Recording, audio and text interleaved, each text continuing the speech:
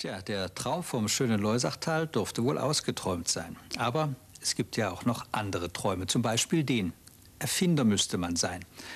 Man hat eine zündende Idee und wird quasi über Nacht zum reichen Mann. Aber Träume sind Schäume, so lehrt das Leben. Wenn man sich mal die Lebensläufe großer Erfinder anschaut, dann wird man schnell herausfinden, dass zwischen zündender Idee und durchschlagendem Erfolg oft eine lange Durststrecke liegt. Nicht selten müssen sich ja Erfinder als Spinner verspotten lassen und ihre Erfindungen, so lästert die Umwelt, sei nichts als Schmarren, der überhaupt nicht funktioniert. Das Galilei-Syndrom nennt man so etwas, gegen das Erfinder ankämpfen müssen. Frank Stelzer kann ein Lied davon singen.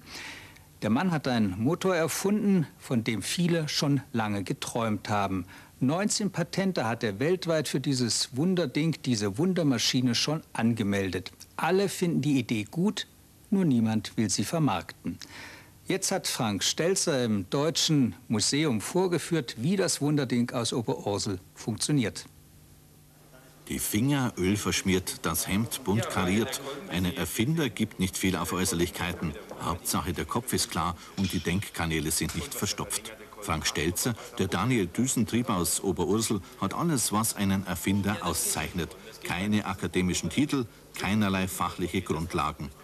Und trotzdem, oder gerade deswegen ist es ihm geglückt, diese neuartige Zweitakt-Brennkraftmaschine mit frei fliegendem Stufenkolben zu erfinden. Ein ganz simples Aggregat eigentlich, aber ein Motor, der wenig Sprit verbraucht, kaum Verschleiß hat und einen bisher nicht erreichten Wirkungsgrad erzielt. Und so funktioniert das Ganze. Der Motor hat zwei Brennkammern. Abwechselndes Zünden des Luft-Kraftstoff-Gemisches lässt den Kolben hin und her fliegen. So entsteht pro Minute eine 1000 bis 20.000-fache lineare Kolbenschwingung. Die ganze Konstruktion besteht gerade mal aus acht Teilen und nur ein einziges Teil bewegt sich. Herkömmliche Motoren bestehen immerhin aus drei bis 400 bewegten Einzelteilen. Und was sich bewegt, das unterliegt dem Verschleiß. Die herkömmlichen Motoren wie Diesel, Wankel oder Ottomotoren erzeugen mechanische Energie. Diese wandeln sie oft in andere Energieformen um, in Pressluft, Öldruck, Wasserförderung oder elektrische Energie. Dieser Motor, der Stelzermotor, erzeugt diese Energieform, die man haben möchte, direkt. Das heißt, der verlängerte Kolben erzeugt Pressluft oder Öldruck oder fördert Wasser oder setzt die Frequenzen direkt in elektrische Energie um. Das heißt, man erreicht mit einem Minimum ein Maximum.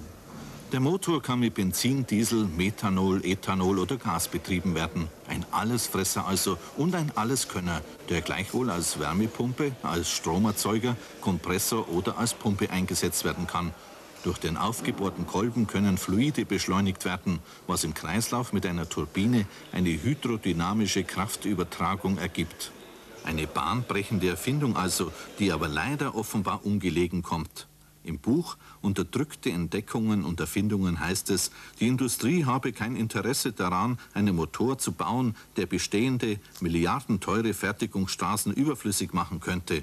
So schreibt zum Beispiel Krupp 1980 an Stelzer, wir freuen uns, dass Herr Stelzer eine so vielseitig anwendbare Wärmekraftmaschine zum Laufen gebracht hat und sind überzeugt, dass in vielen Fällen die konventionellen Antriebe durch Alternativen dieser Art ersetzt werden können. Leider passt das Projekt nicht in unsere Fertigung. Oder Herr Stelzer, Ihr Motor ist zu gut, der macht uns alle kaputt. Wir hoffen, Sie schaffen es nicht nicht alle sind Idealisten. Es gibt Materialisten und die produzieren natürlich das, was sie haben, so lange, wie sie dabei in den schwarzen Zahlen bleiben können.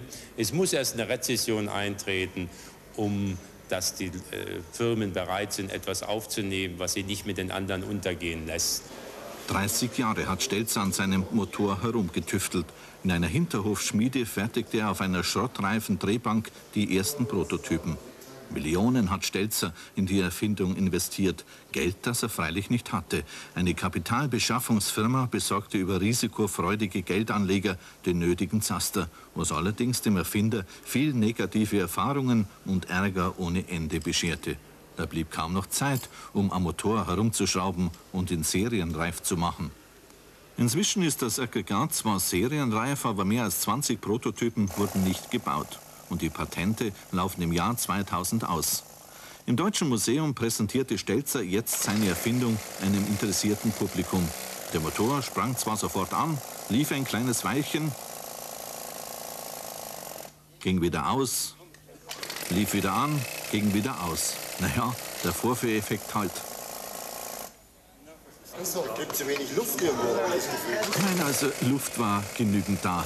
Aber den Benzinhahn, den sollte man vielleicht doch aufmachen. Und siehe da, das Wunderding aus Oberursel schnurrte und schnurrte vor dem staunenden Publikum.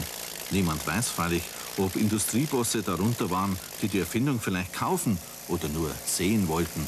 Wie weit ist er, der Stelzer Motor? Wie gefährlich ist die Situation, dass die Konkurrenz einsteigt?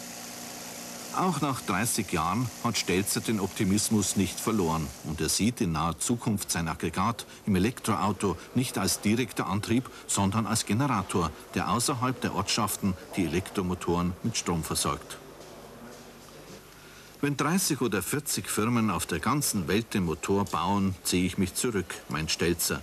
Dann will er ein Flugzeug bauen, natürlich mit Stelzermotor, vielleicht auch diesen Hubschrauber mit Blattspitzenantrieb.